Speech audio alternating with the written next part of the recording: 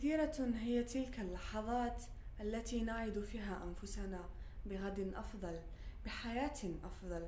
سأتعافى من الإدمان سأحاول مجددا سأولد مجددا. لكن سرعان ما نكتشف أنها ليست سوى لحظات من الحماس الزائد الحاصل بمؤثر ما. ونعود مجددا لتلك الحياة التي نعي مدى بؤسها. لأننا لا نملك القدرة والإرادة الكافية للخروج من أنياب تلك السين الحالمة. الوعي لازم لمواجهة العديد من الأسئلة الدفينة بداخلنا والتي قد تخرجنا من تلك المغارة الآمنة التي نهاب الحياة خارجها. لا أحد سيهبنا تلك الحياة التي لا طالما حلمنا بها في نومنا ويقظتنا. لا وجود لذلك الملاك الذي سيحلق بنا بعيدا عن كل هذه القذارة.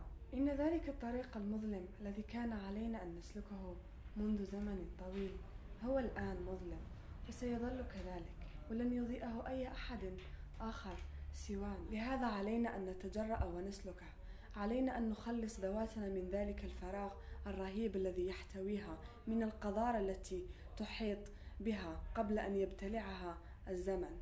علينا أن ندرك ونعي أن تلك المغارة الآمنة هي الخطر بحد ذاته هي العدم بعينه.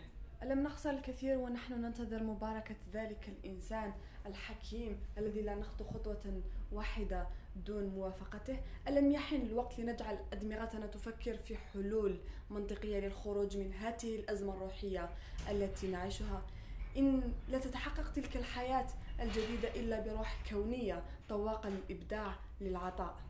حان الوقت لنستعيد عقولنا حواسنا أن نتصرف وفق قناعاتنا أن يبارك كل نفسه ويمضي قدما أن يتحمل كل الصعاب لأجل تلك الحياة الجديدة.